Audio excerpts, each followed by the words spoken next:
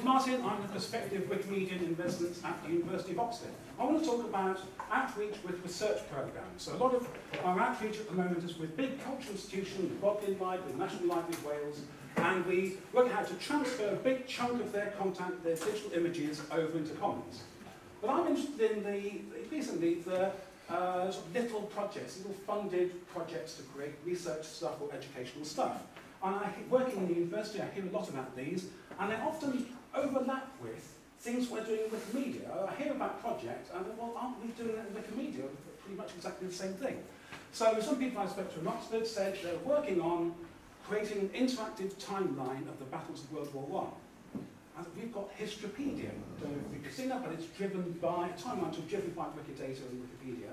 And so I sat down this person's computer and literally in a few seconds created the interactive timeline of the battles of World War One. Images and then George dropped his phone. What are we doing? Why are we spending money on this project when it's this easy? Another project, I, I've heard about this, done it being funded. Take a historic street, Broad Street in Oxford, take photographs of it now, each building, uh, and but find historic photos, lithographs, uh, works of art depicting these buildings, so tag them all, have this in the database, and be able to navigate through the street in detail, geographically and through time.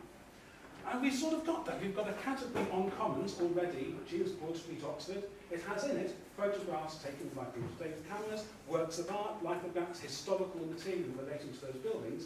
Often that's with a date. Hopefully that's with geographic, detailed geographical information like longitude and latitude. So uh, uh, there are projects funded to transcribe all the publications or the notes of the historic author. And we've got that, a Wikisource author profile is that, is people working on that exact problem. Uh, so we've got, um, oh, and the, my favourite example was brought to my attention by Richard Nevell in the Wikimedia UK office. So there are 4,000, there's more than 4,000 hill forts in the British Isles. These, these are lumpy bits at the top of hills that were prehistoric forts. So, uh, not very technical. lumpy, but lumpy. Um, so and this is a funded project involving a team of academics to do a definitive database, atlas, and public search publications about all of these hill forts, 4,000 odd. Uh, and uh, Richard was able to create, with the Wikidata query service, which generates a map, a map of hill forts. Uh, Wikipedia knows about hundreds, not thousands yet, uh, and we can show that, that, that you can make an atlas of hill forts in a few seconds. Um, that, it was small content to what they had, but that shows there's a platform for this information. And I met up with the professor leading this team, and, and he agreed to upload, when he's got these 4,000 records, upload some of the data of each hill fort to Wikidata, and open source the, uh, the text descriptions of the hill fort to make Wikipedia articles out of.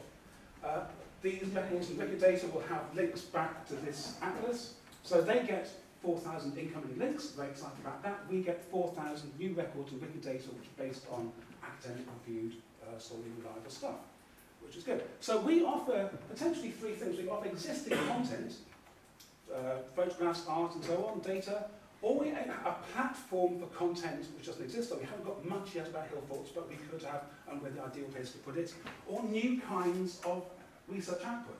So I worked with the Voltaire Foundation in Oxford. Their research output is books, print books.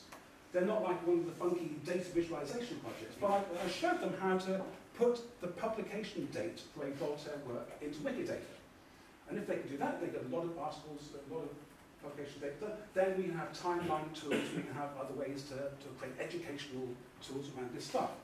Uh, so now they're, they're going to do this, they seem sort of data visualization projects, which are cool in the 21st century, and they're one of those being active funders. Um, so the, these research projects, when you bid for them, you, you've now got to put in pathways to impact. You've got to prove to the research council who's going to fund it that it will shape public knowledge and public debate about this topic. And we are the best way to do that. We, we can say we've got Wikipedia, Wikidata, these are the highest traffic sites on that topic. It's really up to your topic. Uh, so this is a great opportunity for us. They're starting to realise that people bidding for these projects, that they need Wikipedian expertise at the point at which they bid for these projects. And maybe they need to employ Wikipedian to help write the bid to the funders, say what's going to happen.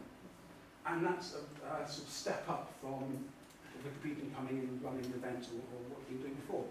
There's a couple of barriers. One is that the academics and librarians that we're talking about already think they know what Wikipedia is. Maybe they're not familiar with thinking of it in this way. And, and the other is it's just so overwhelming, the scale of what we're doing. I had uh, an academic workshop I was given recently saying, yeah, it's just staggering. It's not the, the pace of the workshop, but just the scale of what we're doing. It's more than 19 million data items on Wikidata. It's more than 30 million uh, files on Commons. It's more than 340,000 English texts on Wikisource. And this is just far above the scale of any of these academic projects people are working on, where that 4,000 bits of data is, is a big project.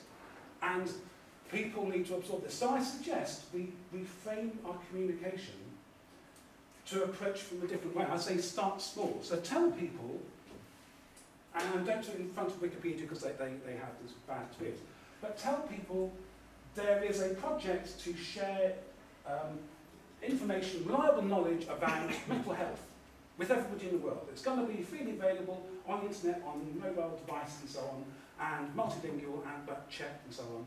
And people go, that's good, that sounds like a good project. If a hat's been passed around for that, I'll help, I'll put money in it. And so, and there's oh, another project is about endangered bird species.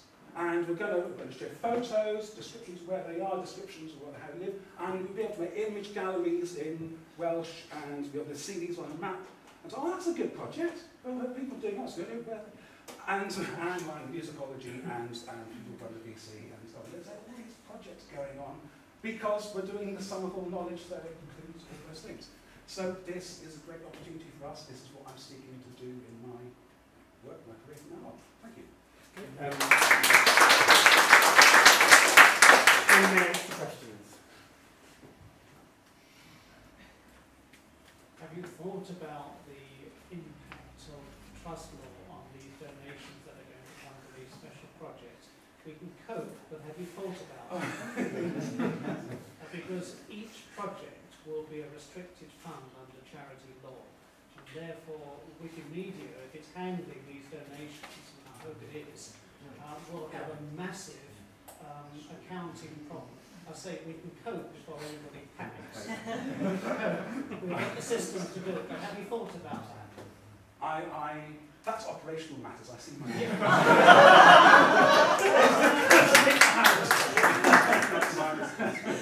um, uh, uh, even as a rhetorical thing to say, there is a, um, uh, a project to inform everybody about the endangered, spotted, whatever. It's part of the project to inform people about endangered birds. It's part of the project to inform people about endangered species, about science, about all knowledge, and then they trigger on rather than Wikipedia has some stuff in it. It is brilliant. Yeah. I endorse it. I'm right. happy with it. It's just that we're going to have a massive accounting issue. And as I say, we'll yeah. Hope, I hope this goes ahead. Right. it could be like the web. People people pay for internet access, but the internet as a whole doesn't have an independent existence. It's lots of universities, ISPs and so on that link to each other.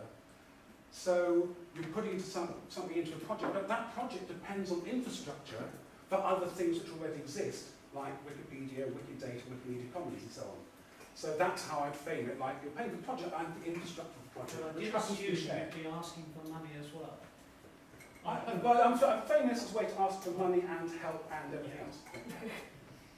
I sometimes find this though that the kind of Wikipedia comes on, you know, it's, it's uh, lots of friendly smiles and everything's going to be really easy in Wikipedia as a platform, and then you get involved and then it's all copyright. You, you're straight into kind of debates about rights and, and ownership, and then it's the, the kind of edit wars and, and that sort of slightly snarling side of yeah. the thing that we do. And it's it's kind of being open to the fact that there is actually a commitment that's being made in terms of the principles of, of engagement. It's not just the outcomes. But that,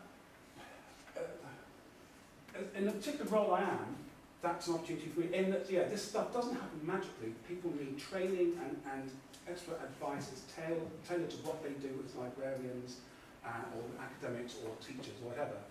Uh, so they need that advice, and that is legal, technical, kind of usability advice, like where does the button actually upload the images.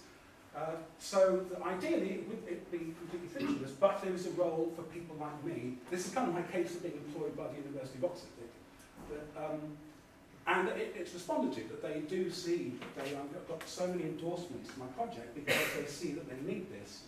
But it's a small it's the shavings at the end of the funding stream to get them the consultancy that to, to help them have this project, say how to uh, improve an article on Wikipedia in a way that won't be reverted by somebody. Well, that's doable. You just sort of explain culture and give examples and uh, yeah, it's all doable, but yeah, but I'm essential to the process. I'm essential.